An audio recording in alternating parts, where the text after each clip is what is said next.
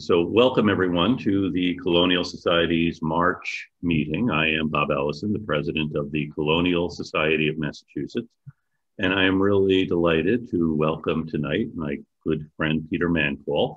Peter Cooper Mancall has been teaching at the University of Southern California now for 20 years. He received his bachelor's degree at Oberlin College and then his doctorate in history at Harvard and he is the Andrew Mellon Professor of the Humanities and the a Professor of History and Anthropology and the Linda and Harlan Marlene direct Martine Director of the USC Huntington Early Modern Studies Institute. He's a prolific scholar. His first book was on Indians and alcohol, deadly medicine, Indians and alcohol in early America, and he's written written about Richard Hakluyt and about Henry Hudson's voyages and uh, a variety of other topics. Currently, he is working on volume one of the Oxford History of the United States, a book that will be called American Origins. And he's here to talk to us tonight about his most recent book, The Trials of Thomas Morton, an Anglican lawyer, his Puritan foes, and the battle for a New England. And he's also offering a discount from the publisher for Thomas Morton, The Trials of Thomas Morton, which I can say is a terrific book. So it belongs on the shelves of every scholar, everyone interested in early American history. So I'm really delighted to have you with us tonight. So please welcome Peter Mancall. Well, Bob, thank you very much. I I wish I was there with you in Boston. I wish actually all of us were in a room. I know that some of you have chimed in or are friends of mine, uh, and I'm really delighted that you're here. The book is is I, I, will I will own the faults, but I will say that uh, many of the what I hope are the strong parts really are because of conversations I've had with early Americanists for my entire career. And I'm really delighted to be here uh, to talk about uh, my uh, new-ish new book. Came out um, at the end of 19 in the US. It came out uh, early last year when I was in England. It came out in London, I think in January, February. And I want to emphasize as I get started um, one thing about the title of my book. Um, the subtitle, you know, it's it's called The Trials of Thomas Morton because this is a book about a lawyer. Uh, Thomas Morton, I think to a lot of people on this crowd, you probably have some sense of him. Thomas Morton has one of the great cameos in American history, where he quite literally seems to dance on and off the stage of William Bradford's Of Plymouth Plantation. Um, you know, and and that aspect of Morton has been much discussed for hundreds of years, and I'll be talking about the legacy of Morton later on in this little presentation. But the subtitle of my book is really important, and I want to emphasize it. Um, an Anglican lawyer, Morton, his Puritan foes, the people he battled, and I'm lumping together the Pilgrims of New Plymouth and the Puritans of Massachusetts Bay, and the battle for a New England. And I really want to emphasize that sort of indefinite article there what Morton has had in mind was to create a new version of England in North America. And to read him now, and will be as I'll be doing, you know, today, is to always remember that context. That that's what he has in mind. So let me just take you take you very briefly, uh, as in for about a minute, to how I got to this project, and hope this PowerPoint will work appropriately. And of course, now it's not working. Oh, there we go. Sorry about that this book of mine I see less as a work of biography than a work of microhistory. And it comes for me as sort of a natural progression of work I've been doing for about the past 20 years. I think my friend Mary Fuller is out there in the audience. Mary is one of the world's great experts on Hakluyt. But, you know, in, early, in 2007, I published a book on Richard Hakluyt called Hakluyt's Promise, a book that has elements of biography to it, but is really a microhistory, trying to understand um, a problem, an issue. Is, you know, why did the English decide to colonize North America when they did, and, and how did they do so? I followed that a couple of years later with a study of Henry Hudson. Uh, I, that book came out timed for the 400th anniversary of Hudson's arrival in um, what's now New York. Uh, I don't know if you read my book, but I that actually is a very minor part of it because what interested me about Hudson's story is what happens on his fourth and of course as you can tell in the title, does not go well, his final journey uh, in 1610, 1611. I saw that as sort of a way to work out problems about, again, how does this one European population, the English, contemplate exploration and colonization of an area that they understand very poorly. In other sort of related works I've done over the years, I've been really concentrating my efforts on the period of the last generation, last decades of the 16th century and the first decades of the 17th century. Uh, really trying to make English colonization of North America more of a, a problem, frankly. Um, you know, to really situate it in its time. Uh, as I was, as, as, Bob and I were talking earlier, um, you would have, you know, knocked me over literally with a feather three years ago if you had said that the American population would get consumed with the year 1619. Uh, but of course, it's no secret to anyone here that we've had deep uh, discussions in this country about the meaning of the early 17th century.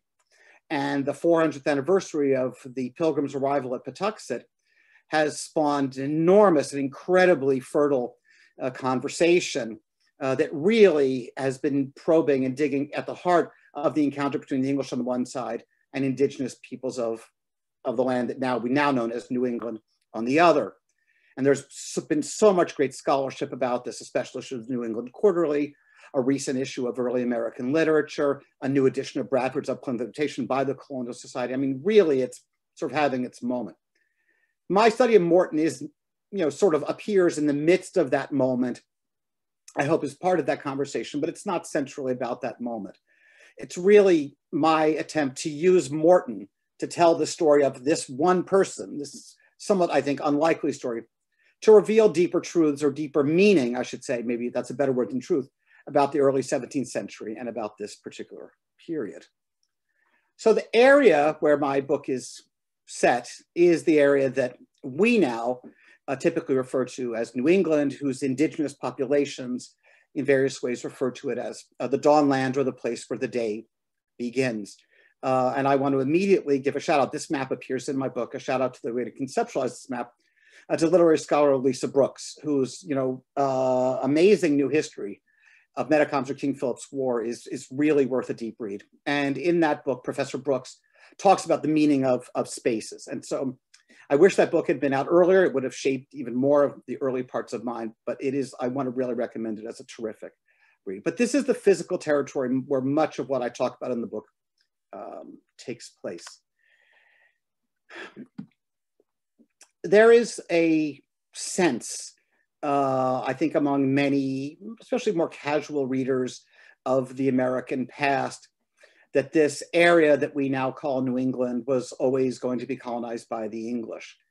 So besides the fact that I, I start the book by talking about the fact that this is already a well-settled place um, of, of Algonquian speaking, multiple Algonquian speaking peoples who I've you know, loosely identified you know, on this map. It's very important for me to sort of emphasize that at the start because I really want to situate my story of Morton as Morton arriving in this place that was already settled. I don't use the word settler to refer to colonists because I don't, I think that since the land was already settled, that's a term that doesn't mean much to me or is not useful for how I talk about it. Morton certainly does want to impose a new order on this area, but he does, as you'll know if you know his work, he has different ideas than the Pilgrims and Puritans. But crucially, his is not, and, and the Pilgrims is not the first story that we know about, about this region from a European. Champlain travels through this area, goes to the place where, which the English would later christen as New Plymouth, and describes it.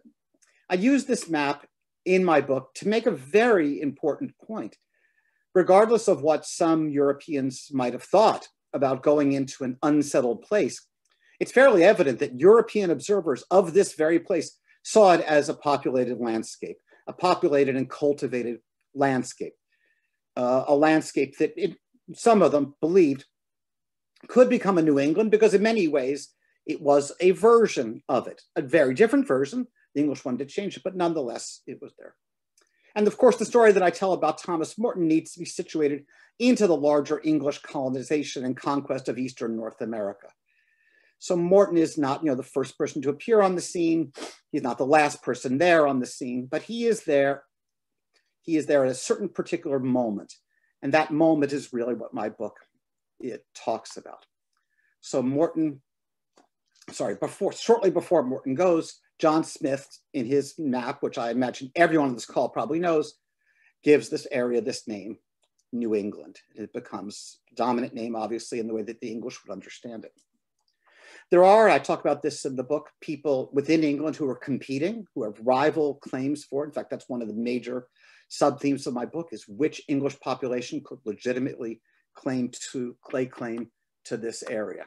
Um, so that's sort of the pretext. And now let me bring Morton briefly onto the stage. I mean, there are a number of details about him. I don't consider my book a biography because I don't have a lot of the details about his life. I, we make certain I make certain guesses. There's been a lot of terrific scholarship on him. Really helped me write my book. Uh, that there have been so many people doing it. Um, but there's a lot we don't know. I don't know what he looked like. In some sense, I sort of you know joke with my friends. This is the third micro story I've written in a row of putting person at the front that we don't know what they look like. We don't really know what we don't know what Hakluyt looked like. We don't know what Hudson looked like. We don't know what Morton looked like. Would it change my story if I knew what they looked like? Probably not but it is sort of a, a sense of their place in the society at the time that we in fact don't have images that survive of them. Thomas Morton in uh, 1620 meets a woman named Alice Miller, a widow. He is her lawyer. And he, mar- he, he meets her, and then fairly soon they get married. And Alice Miller has several children, the oldest one of whom, George Miller Jr., after his then late father, doesn't like Thomas Morton very much. In fact, he hates Thomas Morton. And the first way that Morton really becomes known is in legal records about a dispute about an estate in Swallowfield in Wiltshire. I talk about that dispute uh, near the beginning of, of the book. Uh, this dispute begins uh, in the early 1620s. Uh, the same time that other people in England are thinking about this area that Smith has now christened New England. And among people thinking about it is the man named Sir Ferdinando Gorges uh, from the Council of New England, founded in 1606, who believes that he and his company have a legitimate claim to New England. And they're very concerned about other English, the Pilgrims, going there. In the midst of his own legal dramas in 1622, I think, we're not positive, I don't think any scholars can know for certain, Thomas Morton seems to make a brief round trip uh, to what the Pilgrims have now called Plymouth. And he goes back to Swallowfield. The legal dispute continues to engulf him. Uh, it looks like he might win, but it's unclear. It's certainly clear that he has now become, uh, he starts to have um, conversation and form a partnership with Gorges. And, for, and that partnership with Gorges would be important for the rest of Morton's life. Um, in 1624, Morton abandons Alice Miller, abandons this whole legal dispute, and goes over to New Plymouth, uh, moving into um, a recently abandoned, what's typically referred to as a fur trading post of a Captain Wollaston um, uh, near, near Plymouth.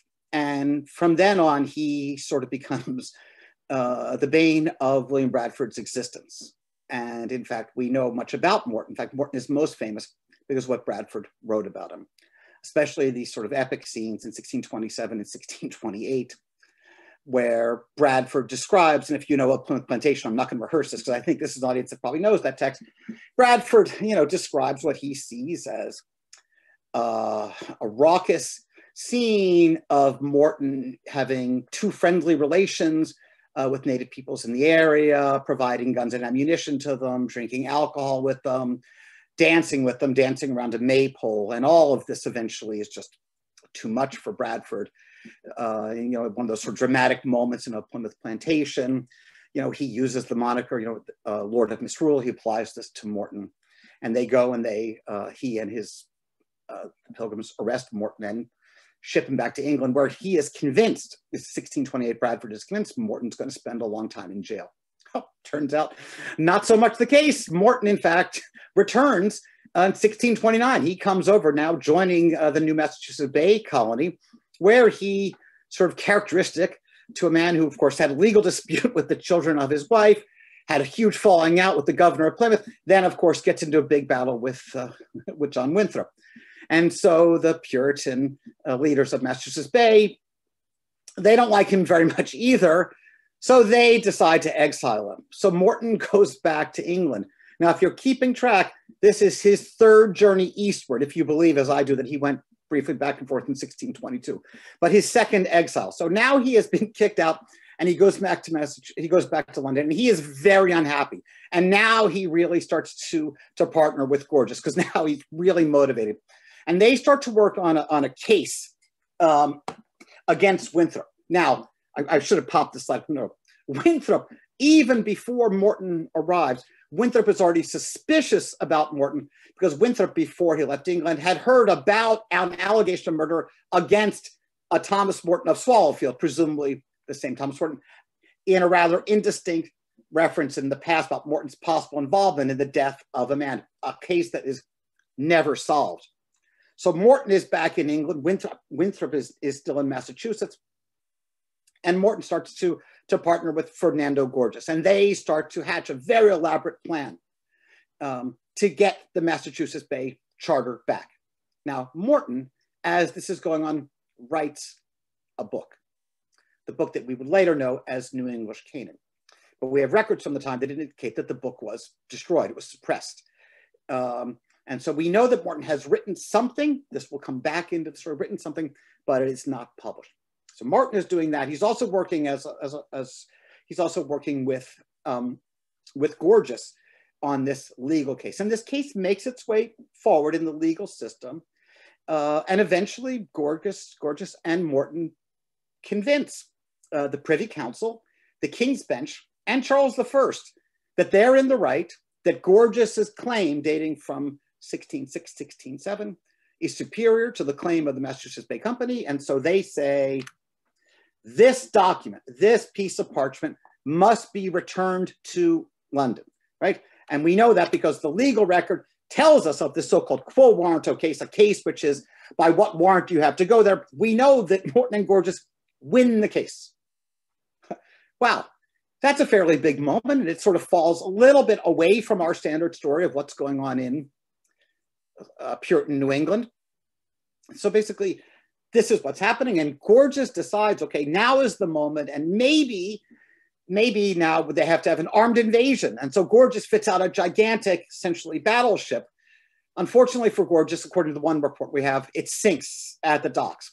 So military invasion doesn't work. Word gets back to Massachusetts, you have to send back the charter. And the people in Massachusetts, the authorities, the general court says, yes, thank you, but no thank you. So they decide to hold on to it. Right? So they have defied uh, the king. This, of course, fuels Morton, Morton's sort of passion and Gorges's passion. Now, other information is circulating, and part of what I do in the book is to try to situate Morton in his time. And a book that many of us in this call will know, uh, William Wood, New England's Prospect, first edition comes out in 1634. Morton, remember, tried to publish his book in 31, 32 had it suppressed. Wood's book comes out. Morton hates Wood's book. And when he would eventually publish New England's Canaan, he would make these cutting remarks about William Wood. He thinks William Wood is getting it all wrong. And what he doesn't like, in part, is that William Wood is fairly, uh, he doesn't have strong opinions about the Puritans, who Morton and Gorges simply despise at this point. While Morton is in England, the event that we refer to typically as the Pequot War, erupts. Again, Bradford gives a particular vivid, horrific rendering of this in a Plantation, a famous, infamous rendering of it.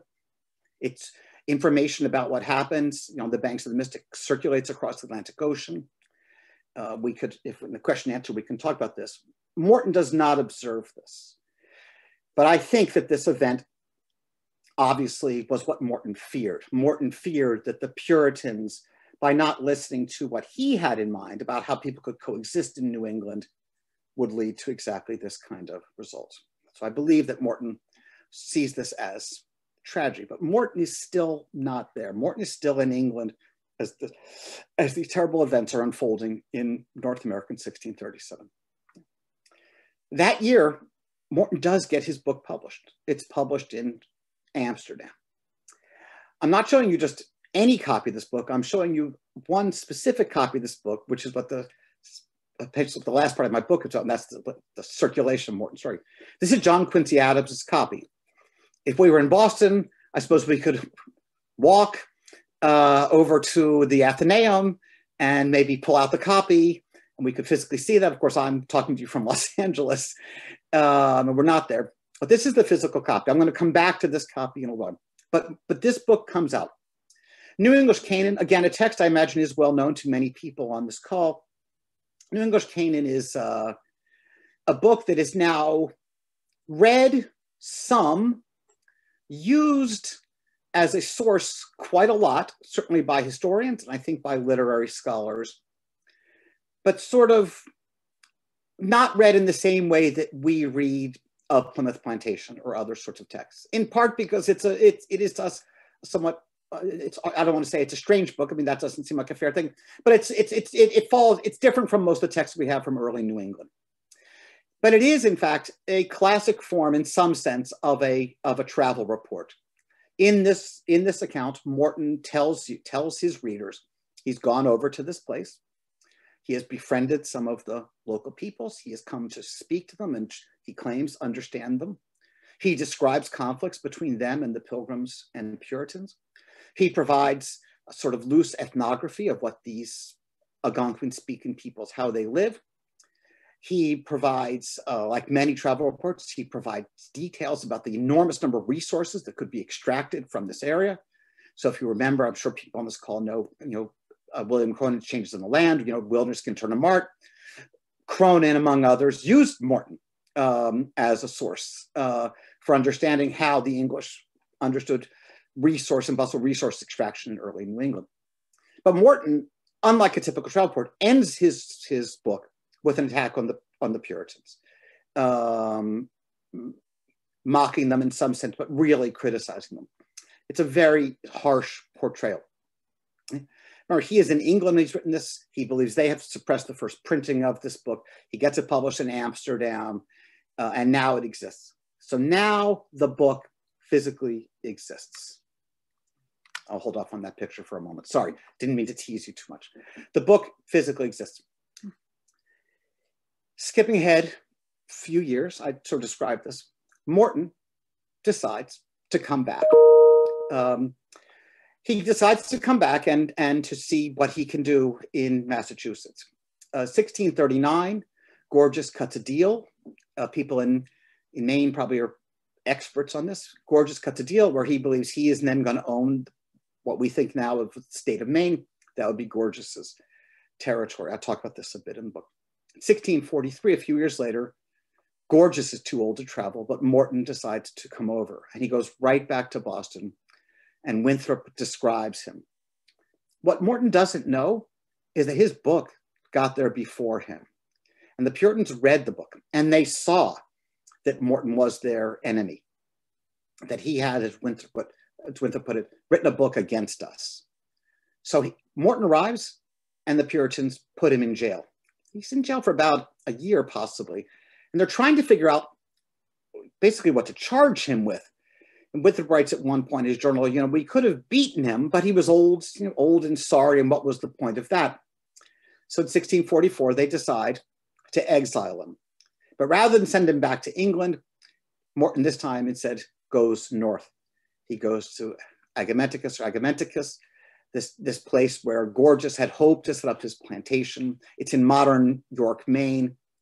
And he goes, and so far as we know, he died there. I have to say, I did go looking for his grave, and all of the graves from that generation seem to be just mixed with others, so you can't find it, but I think everyone would agree that Morton is probably there. In some sense, that should have been the end of my story, right? I've written, up, I've, I've sort of told the story of this man and his travails. But the thing about Morton, this guy who the Pilgrims hated, who the Puritans hated, he really fascinated them. And so people start to write to him, and his story keeps circulating.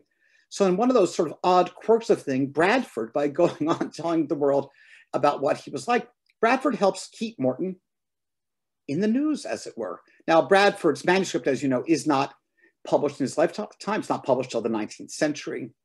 But that manuscript circulates across New England. It, it, it, it, it, it, it gives depth uh, to Nathaniel Morton, uh, that's Bradford's nephew, not Thomas Morton, uh, Tom, sorry, Bradford's nephew, to his New English Memorial and it remains in this thing. And so Morton's story, Thomas Hutchinson tells Morton's story.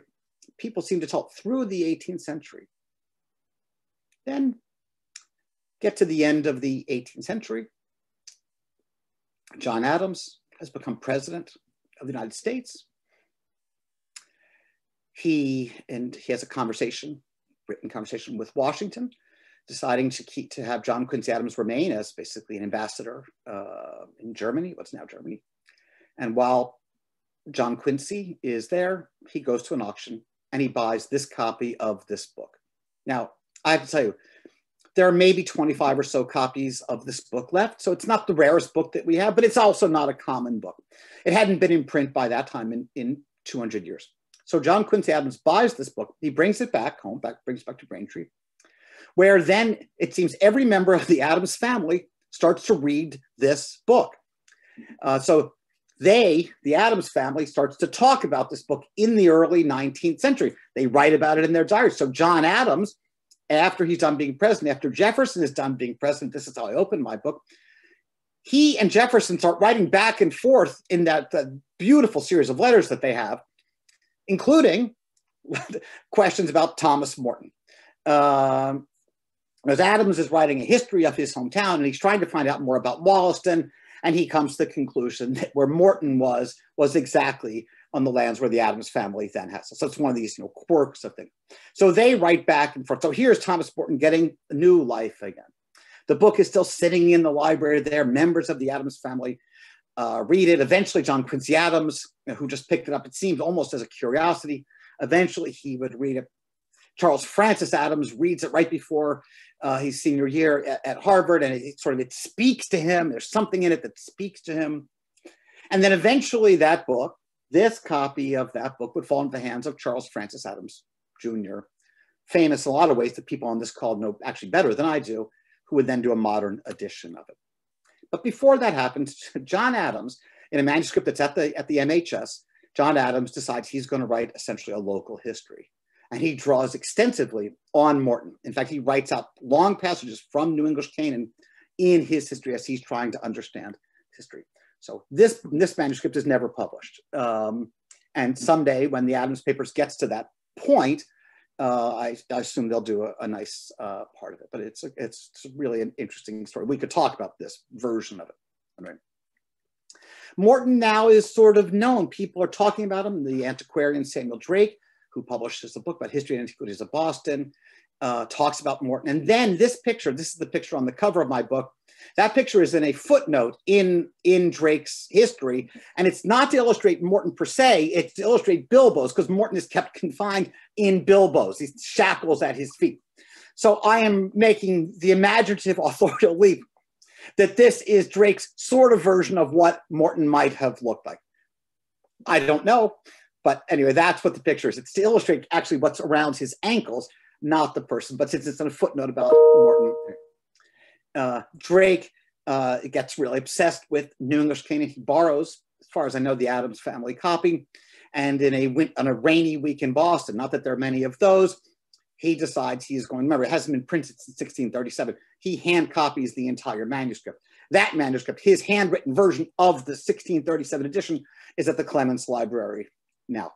Um, Morton now is beginning to be known. So 19th century historians are writing about him. And, and what everybody focuses on, what many people focus on, is the story of Bradford and the maypole. It's the most dramatic moment they think in Morton's life. It's the one that's most accessible because of the accessibility eventually of, of Plymouth Plantation. And so this becomes sort of the dominant story. But eventually, Charles Francis Adams does his edition for the Prince Society in 1883 this becomes there are there are recent editions, but this becomes sort of then the standard edition that people that people know. And it's got an amazing preface to it. If you ever have a chance to read, I talk about this in my book, The Preface. The preface to this is Charles Francis Adams at the end of the 19th century, late 19th century, talk about how difficult it is to understand Morton because it's such a learned book. So he consults a raft of people, mostly in the Boston area, almost all of them associated with Harvard. At one point, he mentions that one person was associated with Yale, you know, as if he was sort of intellectual slumming. Well, let's have someone from New Haven. But he hits all of these famous people in 19th century, in 19th century Boston to help help me understand this place, so I could do an apparatus to this book. So now the book has yet a new life. It had been reprinted earlier in, in Force's Tracts. It's sort of an unannotated edition, but now it's, it's catching on.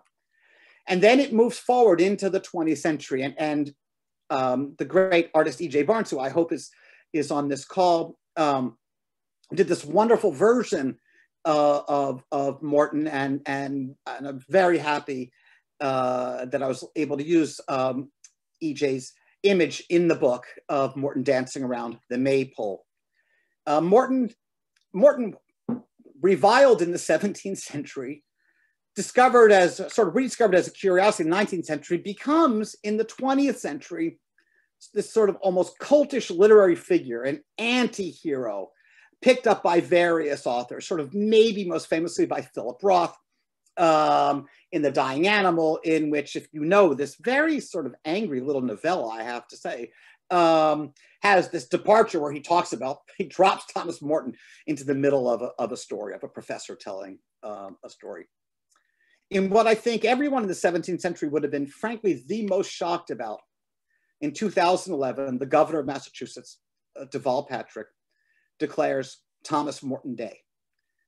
So a man who was exiled three times from New England for basically being in the face of first the Pilgrims and then the Puritans, now in the 21st century is seen as a great sort of um, celebrator of nature, of someone whose view towards indigenous peoples of this region was much more positive than those of uh, the Puritans and the Pilgrims, and someone now to be commemorated. It is it was one of these sort of you know archival discoveries that you I you know never expect um, to find. So the book, I'm happy to answer any questions. I'll do my best to answer questions, but that's essentially what it is. My book is a, a micro history, and just as one final note, um, as a number of you will know, within the past few months, uh, my mentor, someone obviously very well known to the Colonial Society, Bernard Bailyn, passed away. And after his death, a number of people wrote to me and asked me, did I write this book in the spirit of, of Bud's The Ordeal of Thomas Hutchinson? And I have to say that that was not actually front and center on my mind, but now looking back on it, I do wonder if it was if I wasn't in some way wrestling with what I think is a really stunning work, one of Bud's great works. So I'll leave it at that. I'm happy to answer any questions, but that's sort of what my book is about. So thank you for being here. Great. Thank you so much, Peter. This is a great explication. And if people have questions, you can type them into the chat or the Q&A or raise your hand. We do have the capacity to elevate use people so they will be able to speak if your question is too lengthy. Uh, we did have a question from John Emery who wanted to know if you could talk at all about Morton and music. There's an opera by uh, Hanson, there's a ballet. Uh, this is part of, I think, the cultural figure of Morton. Could you tell us a little bit more? I wish I could, but I, but I, I am, I am not the person. That's a great question, um, but it speaks again to this. It's I, I can't speak to the, to that specifically. I mean, I wish that I could do more. And, and um, a lot of literary scholars have really gone deep into aspects of, of New English Canaan and talked about um, the verse, the poetry that Morton posts uh, on the maypole, the maypole which makes Bradford crazy. Um, and it's that scene in Morton's life that becomes the central figure in basically most cultural representations of Morton afterwards. So while I know about these other things, I'm sadly not an authority. Yeah, okay. So I, I, appreciate the question. Sadly, I, it's not my. I'm not the expert on that. Thank you. Other questions?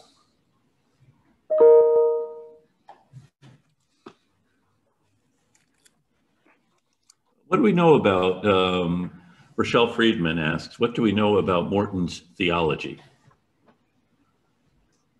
Oh, Rochelle, um, um, great question. I mean, what we know is in the latter part of New English Canaan, he criticizes aspects of, of Puritan practice. We know um, the extent that I will use the word that he was an Anglican, that, that he, you know, he really sort of embraces the Church of England animosity towards um, uh, Puritanism and the Puritans of New England. Um, I don't have, you know, all I can read about his theology essentially is what we can find in it the in the last part of New English Canaan. Um, I don't see his um, as particularly um, intellectually adventurous there. It seems to be a fairly straightforward uh, critique. Um, the reason I'm hesitating on Anglican, uh, which is, of course, how I identify him in the title of my book, is when I was in England last year, I, I gave a talk about the book. And I was sort of read chapter and verse that I shouldn't be using the word Anglican. Uh, and I said, well, but he's a member of the Church of England, and you know I need some term for him. And a scholar I was talking to said, well, there's a huge debate about what this term means, you know, in this period. And so I, I defer. So for Shell, if the spirit of that is, did Morton contribute much to the intellectual debate about the Church of England at the time? The answer is not that I am aware of. Um, what he where he made his contribution was really he uses religion to make a political critique of the Puritans. I mean, and, and the Pilgrims. These are people who have exiled him twice. Um, when he writes the book, they would exile him a third time again when he would go back. So he's really driven by personal animus. He also, um, you know, I think one thing about Morton, and I wanted to say this, you know, near the start, when I when I emphasize at the start of this talk, I'm talking about the battle for a New England. He wants to create an England. I don't want to give people um, the impression um, that he didn't also want to change the way people live in the region. He absolutely did. Uh, he and Gorges had had, an, had a scheme, you know, to change how people live. Um, you know, and to create these fiefs, and there'd be people came over and they would be endowed with all sorts of power. So I mean, he it's not like he it's not like he was some person who basically said the English should go home. He sees this region as a place to go. But he also sees it from his immersion in this place on the times that he's there. The, what I still think is the brief 1622 version, then from 1624 to 1628, then from 1629 to 1631, and then from 1644 to 1647, he presumably dies. I do read into him um, uh, that things have gone very awry, and much of the blame should be laid squarely at the Puritans. So, Rochelle, what I would say, and I could be, I could be uh, naive in what I'm about to say about my reading of this, but if you contrast the tone of, say, Bradford's Of Plymouth Plantation, and especially you know, the passages where he describes what the spread of disease and especially the Pequot War in 1637. You read this as we now read these texts uh, as, as the, the, the, works of people who think providentially of the unfolding of a God's plan, and you read them, you could read them as, as Bradford or others sort of, this is it, you know, and basically these people died. They don't celebrate the deaths, it seems, although frankly, it's hard to read his passage in, in Upland Station to see it as apart from that, but, but they see it as the unfolding of a plan and God destroying this proud and haughty enemy. When he writes New English Canaan, Morton doesn't know that, that that's going to happen. But Morton writes, and I talk about this book, I think he writes very sensitively about this epidemic of 1616 to 1619. In the book, I just I follow some recent history of medicine people to think, think this is leptospirosis, bacterial disease. I think it hits particularly hard along the coast. And it's been widely reported as this great mortality that hit indigenous New England before the English arrived at Patuxet. Morton talks about this scene of death, this newfound Golgotha, as he calls it. I read into that not, um, not a sense of punishment, which is how I read Bradford as, as a divine power punishing indigenous. I read that again, could be a quirky reading. I read that as thinking this is a place of universal suffering, that we are not, this is not God punishing these people. It's, he doesn't particularly provide meaning about why this happens. But I think he sees a more universal experience. I think he imagines a world, I really believe this, he imagines a world where people could coexist as opposed to Bradford and others. And when you come read through a implementation, I think that the pilgrims do not think this is a place where they can coexist. Um, so is that is my reading of that passage in New English Canaan a contribution to understanding Morton's theology? I would say that's a stretch, but that is how I read Morton's religious views in the text that I have that I used. So uh, Mark Peterson, speaking of Yale, asks a question. If you I want you to um, talk about the problem of scale in Morton's competing vision of a New England that is Gorges and Morton lacked and Plymouth lacked the ability to bring over colonists in large numbers and to dominate the land, resist the crown, etc. So could you talk a little bit about that? Absolutely. And, and Mark, I'm glad you're here and I'm glad you asked that question. And if people who are on this call don't know it, I really urge you to read Mark's new book, which I think the Colonial Society has already I have done a session on the city state of Boston, which tells you how this great yes. city where I would be with you right now emerged. The Puritans understood uh, and by the way, the Puritans who go to Massachusetts Bay understood how to build a colony. The Pilgrims who went to New Plymouth, I know this is going to get me in trouble next time I go back to Plymouth. I don't think we're so good at that. Plymouth never becomes a really booming area. There are several years in the 1620s, it doesn't even have a minister there. The Pilgrims were there and they become famous in American lore for various reasons. Um, but they also couldn't really scale up their vision. Morton, it seems to me, also really lacked, he never really thought through how to build a colony, for lack of a better word. He saw himself from the start, with good reason, in opposition to the first the Pilgrims and then to the people of Massachusetts Bay, the colonists of Massachusetts Bay. And he critiqued them and he points out what they've done wrong and he tells about the terrible things that they do. But it's not like he and Gorges uh, really hatch a detailed plan for what they're going to do. I mean, the minutes of the Council of New England, this, I sort of imagine these guys meeting almost in secret, plotting how are they going to get the case in front of the king. Then they win. Then they fit out this ship to go, and they're going to presumably shoot cannons and destroy Boston. The ship sinks before it goes anywhere. I think that's almost as far as they got. Gorges does sort of think, okay, here's what what we call Maine. Here's what it's going to look like he doesn't have long detailed plans, so he could never scale it up. And Morton, you know, Morton, it's so hard. I really want to know more about Morton as a character. I mean, I find, I mean, I put very much in the beginning of this book, you know, this legal dispute he has with the children of Alice and George Miller.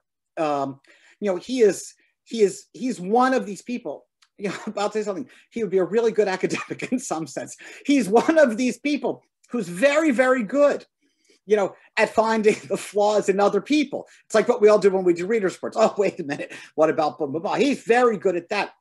He's not so good really at scaling up and having a, a model. And he certainly completely fails in a way to sort of build an infrastructure which existed in England time, people building infrastructure to colonize areas. He, he, he, this is if if this was part of what he wanted to do, there seems to be no surviving trace of it. I mean, he is a frustrating figure because other than New English Canaan, his words, we don't have a lot in his voice. We know he's there. We know he's in these meetings with Gorges. We know that he pops up. We read him through other people. We read him through Bradford. We read him through Winthrop. We read him through other observers.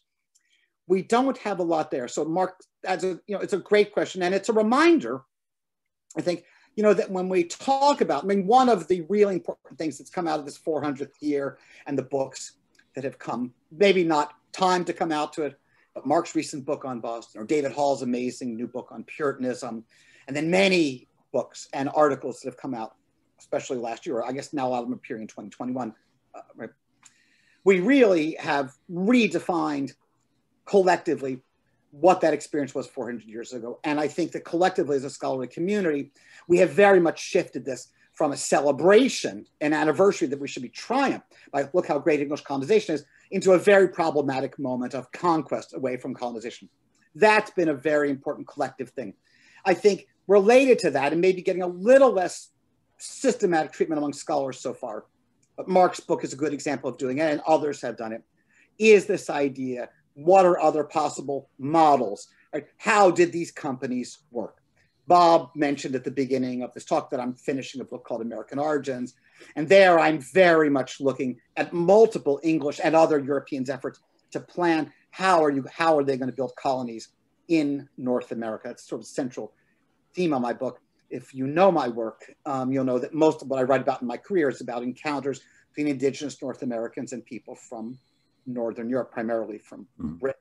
Um, but so it's a good question. And it, it, could be that maybe Morton had great plans and Gorges did, and we don't have them. It could be. Um, it could be that someone on this call says, you know, I have written the great book about Ferdinando Gorges, to which I want to say, please get that book a lot of attention because mm-hmm. Ferdinando Gorges, I think, could unlock a lot of the ways people in Britain mm-hmm. are thinking. Great. Thank you. Uh, Mark Valeri asks about um, Morton's descriptions of Algonquian people and how they differ from those of Purchas, Hakluyt, John Smith. All right, Mark, great question. Not surprised to hear a great question from you, so thanks for asking that. Um, when you look at, okay, so just to use those examples that you've mentioned. So Hakluyt, Hakluyt never sees North America. So Hakluyt, when Hakluyt describes North America, he's always using the works of other travelers, the most famous of whom is Thomas Harriot. And Harriot, who's probably known to everyone, it's called, you know, Harriot goes to Roanoke in 1585, writes a text. Published in 1588. Hakluyt republishes in 1589. Then the famous illustrated edition comes out in 1590 using the John White things. We have some sense of what, of what Harriot thinks about things because Harriot is there for a time. But when you go back to read um, Harriot, for example, you really get the sense of someone who wasn't there very long. Like he was there long enough to understand indigenous uh, terms, to get some understanding of the native economy, uh, political system, religious ideas. He does that in a year. But what you don't get through Harriot, and you don't get through um, you don't get through Champlain and you sort of get through Smith. You get Smith much more about Virginia than you do Smith in New England.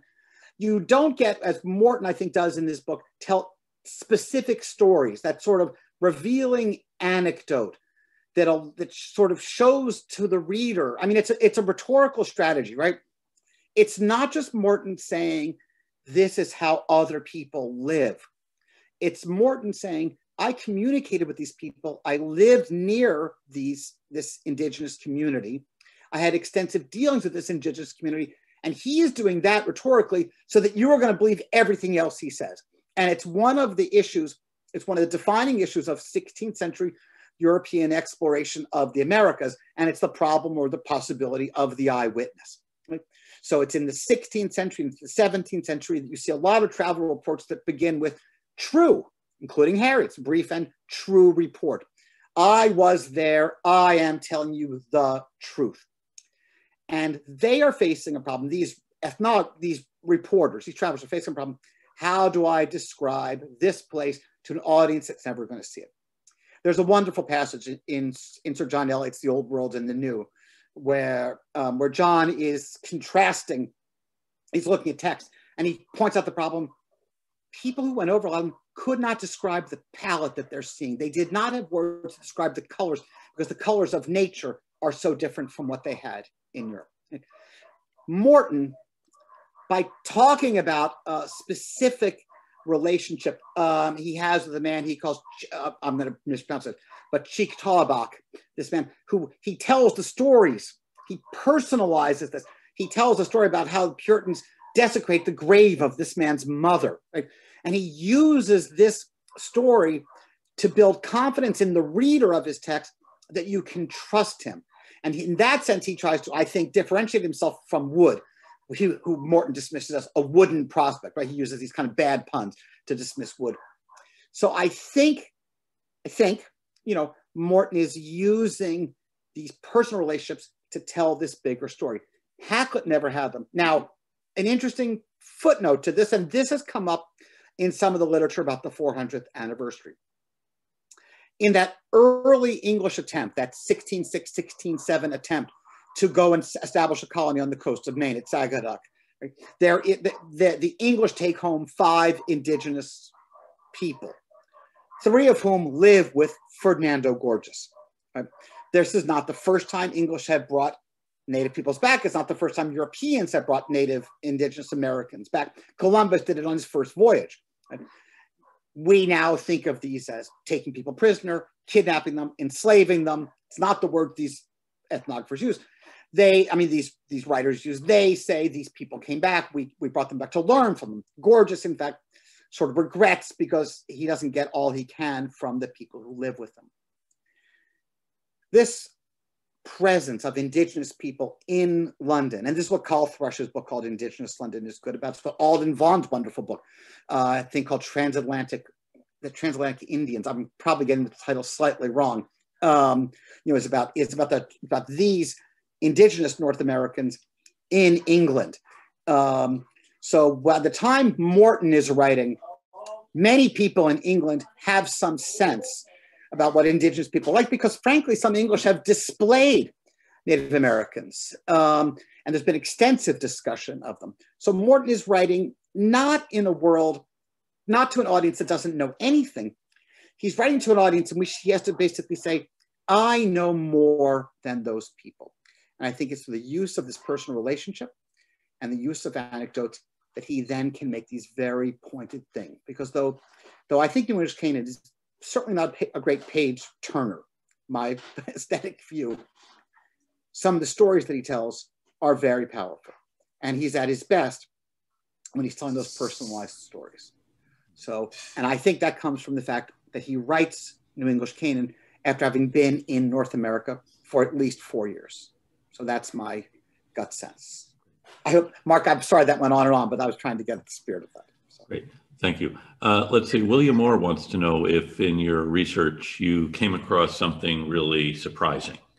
He thinks you might have known what you were looking for, but what did you find in the archives that surprised you? Okay, that's a that's a wonderful question, uh, Will. Uh, Will Orr, I, I, I think this audience doesn't know you, but since I do, I'll tell you that, that Will Orr was one of my research assistants on this project ah. for a few years as an undergraduate. And so Will was off in the archives doing research for me also. But it's so a great. he should say, what did he find that really surprised you? Exactly. But Will, Will, I can't sing to the world the praises of your specific research finds, although I'm sure at the time they were amazing. But I can tell, here's what surprised me. Uh, and I think it is a great question. The thing that surprised me the most was, was Thomas Morton Day, to be honest. I mean, that's just such, such an unexpected twist of an ending uh, to it. What surprised me was less Morton's story than the way Morton's story was kept alive by various people in the 19th century. Hawthorne, um, not just in the story about the maypole of Merrymount, which he doesn't actually name Morton, but in another story, he does name Morton. He imagines Morton walking down the streets of Boston. Morton becomes sort of a literary figure 200 years after his, his death. Uh, the persistence of Morton, the persistence of the maypole story, I attribute that almost entirely to Of Plymouth Plantation. Um, because one of the things I talk about in the book is a maypole to most people in England was not at all a threatening thing in the early 17th century. You know, it threatened the Puritans because it, it, there was a certain amount of chaos and disorder and willful thumbing your nose at authority in there. Uh, so finding, you know, so that story in the 17th century was not that story. But when you get the 19th century and the 20th century, that moment that moment just defines Morton. And if he becomes, I mean, one of the surprises is, you know, he sort of becomes this this anti-hero. He becomes sort of a hero of the uh, what Theodore Roszak referred to as the counterculture of the 1960s. They sort of say, we're not the first Americans, I'll put that in quotes, we're not the first Americans to stand up to authority.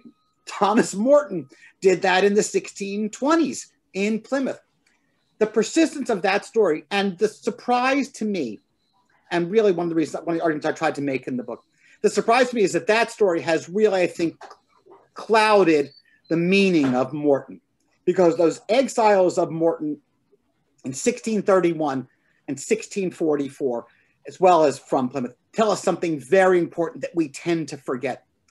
The Puritans exile Morton because Morton to them poses a threat and in the dominant old fashioned narrative of American history, Puritans show up and everything is obviously they are going to succeed. And there were a brilliant run of so called New England town plays, which people in this room will know, you know, from the 1970s into the 1980s, which take as a presumption the survival of this New English town. Well, I think that that, if you look at the way they treat Morton, I think that is a reach. I think that they are aware that their lives are not that secure, that they are aware that they could face a military invasion. Uh, you know, it failed, right? Uh, but I think they're aware of it. And I think what Morton's story shows is it gives us new ways of thinking about the Puritans, pilgrims, to talk about their precarious existence as opposed to them as the confident conquerors and colonizers that we have become accustomed to be, uh, to see them as. I mean, and that actually, by the way, then I think helps explain some of what we look at as their deplorable, violent, genocidal behavior uh, in 1637 in capturing and enslaving indigenous people. Right? I like to think, right, that if the Puritans had taken seriously, you know, the charter of the Massachusetts Bay Company, which basically says, among other things, go and bring these people into Christianity, go and live with these people, right? That it certainly was no one's original intention, not their intention in 1629, to go and have these catastrophic uh, mm-hmm. assaults on people. I think that there is a fragility in their lives, which is a through line. I think other historians have talked about it. I didn't come up with this, but I think Morton's saga helps us see that. And so, if the surprise is the persistence of the maypole story, the lack of a surprise or whatever is, I wish this other story was just as popular. The Quo Warranto story, the winning, he wins in court, but in the end, what I mean, what does it mean to us when the King of England says they have to return their charter? Right? I mean, I had to go digging in, me, in, in, in what medieval historians have written about charters to understand this. Like, why couldn't the king just go down to the record office and say, cancel?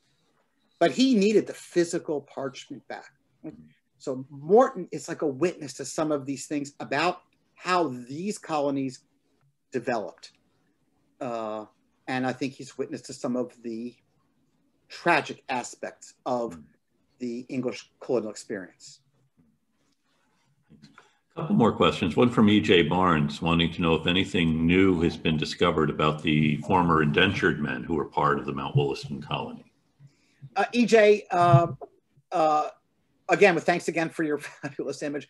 I don't know more about that subject. I, I have not found more um, than I have. I mean, that was you know, you know, in an ideal world, that would have been something that Jefferson and John Adams are written to each other about. You know, I mean, it's those letters, which I really urge people, I mean, to read, are the sort of very funny intellectual sparring between those two, and it hinges on who Wollaston was and what's going on in both of these places. But if there's been recent discoveries, and maybe with the 400th anniversary, people have done more but uh, when I was writing mine, I have to say I didn't find more than I put in the book. It's a, it's a really great question. It's one of those, oh, I wish I knew more questions. Uh, the, the Mark Mark Peterson reminds us that the charter actually had the king's seal attached to it, so that's actually the objective representation of the king. So why you couldn't and, just go and stamp cancel on the, the and, copy in the record office. And when I was trying to get a picture of this, you know, which I think is in it's in the Mass Archives or the library. I forget now. I, I mean, I have it in my own book. I was sort of saying, I was trying to arrange with them. Well, could we have a photographer come in and take a new shot of this? And um, suffice to say, I failed at that. at that, um, that is one sacred object in Massachusetts. Um, you know, maybe they were afraid I had some secret plan to get it back to England and void everything, but um, I had no such authority. Uh, and so, anyway, Mark, thanks for the clarification. Uh, you already alluded to this a little bit when uh, uh, Lynn Valeri wants to know how accessible um, New English Canaan is to a non-scholar. Oh, New English Canaan is absolutely um, accessible. I mean, you can uh, you can go to Amazon and pick up a recent uh, edition of it. Um, you can find it online. Um, you can find Charles Francis Adams' version online. Um, you can go to, if you have access to a Scholarly Library, you can go to uh, Early English Books Online, it will be there. But I think, Lynn, the question is not, is it available? The question is, is it accessible no. to non-specialists? I would say if you are a non-specialist who is, who can be a little patient with 17th century writing, some which will seem somewhat plodding or overblown, um, I wouldn't call it an elegant text and what I and the bits that I've talked about, uh, the political critique at the end, the stories of his friendship with this one man, are are nuggets it's it's really a text you can read across. But I think Charles Francis Adams was right in the sense that it is very hard for anyone hundreds of years after to understand everything that Morton was talking about because there's so much embedded in this text um, that is that is hard to see. So, for example, can one read it cover to cover and get much from it? Yes. Can one read it cover to cover and trust Morton's observations about nature, which is, by the way, how a lot of hmm. people use the book now. In fact, I was struck. You may, you guys in Massachusetts may know, there was a study of the Harvard forest that came out uh, in, I think, Nature last year or two years. It's two years ago now about did Native peoples burn forests? Uh, when Harvard ran a news story about the piece, the author referred to Morton, like pulled Morton up, which the author had gotten via changes in the land. As I say, Morton is used, but if you want to pick up the text and read it and understand all of the allusions, I think that's rather hard. And I think that's what Charles Francis, that was the genius of Charles Francis Adams. Besides putting the text back in to wider, wider circulation, I don't know how many people wrote in the Prince Society, I think it's by a fairly limited number. He recognized the sort of depth of it. So I think it's one of these texts.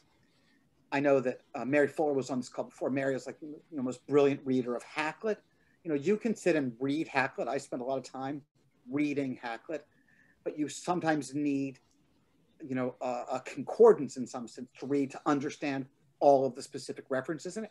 I think New English Canaan is like that. I think you can come away with it with certainly an understanding, but I think there are enough embedded references in it that it's not the most accessible text. In that sense, Bradford's text is much more accessible than Morton's. Um, mm. And the Colonial Society's new edition, just a shout out, is a phenomenal resource um, along those lines. Great, thank you. Uh, let's see, Eliga Gould and Karen Kupperman actually have asked kind of related questions, which I think will give you a break after this. Um, okay. Although we could, you, you look like you're ready to go all night though.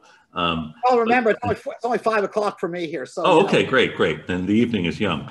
Um, so why did Morton want to change New England as opposed to just going somewhere else? And then uh, should we assume that he actually was definitely interested in founding a colony, or were there other relationships with America maybe that he was pursuing? Well, okay, so so Lige and Karen, um, those are great questions. Um, I believe, I mean, and now I'm in the hypothetical. This is sort of what does the author believe because I'm beyond what the text take me.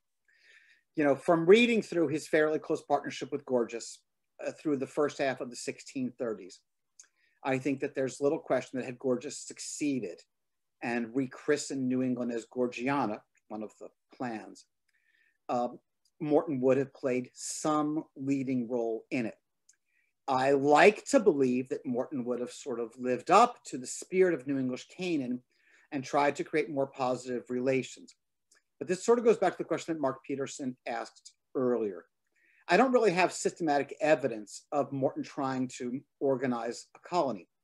What we have in New English Canaan, my read of New English Canaan, is again, I referred to this before, the genre of the travel narrative.